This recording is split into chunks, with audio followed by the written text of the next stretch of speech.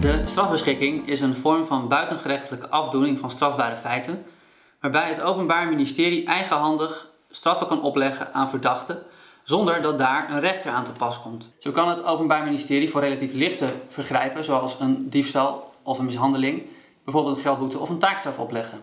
Op het moment dat u het niet eens bent met een tegen u uitgevaardigde strafbeschikking, bijvoorbeeld omdat u de straf te hoog vindt, dan moet u zelf in actie komen door binnen 14 dagen verzet in te stellen bij het Openbaar Ministerie. Wat we in de meeste gevallen zien is dat het Openbaar Ministerie de zaak zal voorleggen aan de rechter. Dat betekent dat uw zaak op zitting door een rechter zal worden behandeld en dat de zaak ook eindigt met een gerechtelijk oordeel. Op het moment dat u geen verzet instelt, wordt daarmee de strafbeschikking onherroepelijk en staat uw schuld aan het misdrijf vast. Dat betekent dat van deze strafbeschikking ook een aantekening wordt gemaakt in uw justitiële documentatie, wat in de toekomst weer in de weg kan staan aan het verkrijgen van een verklaring omtrent gedrag. Daarmee zijn de gevolgen van zo'n strafbeschikking dus veel ingrijpender dan de meeste mensen zich realiseren.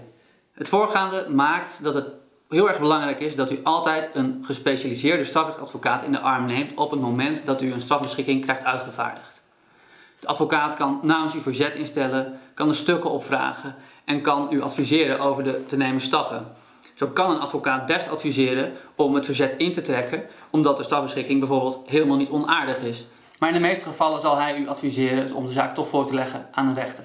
We zien in de praktijk namelijk dat rechters veel lager straffen dan het Openbaar Ministerie, zodat het alleen om die reden al zin heeft om verzet in te stellen en ermee door te gaan. Kortom, verzet loont en wij van Kleerden en Hamer Advocaten zijn graag bereid u hierin bij te staan.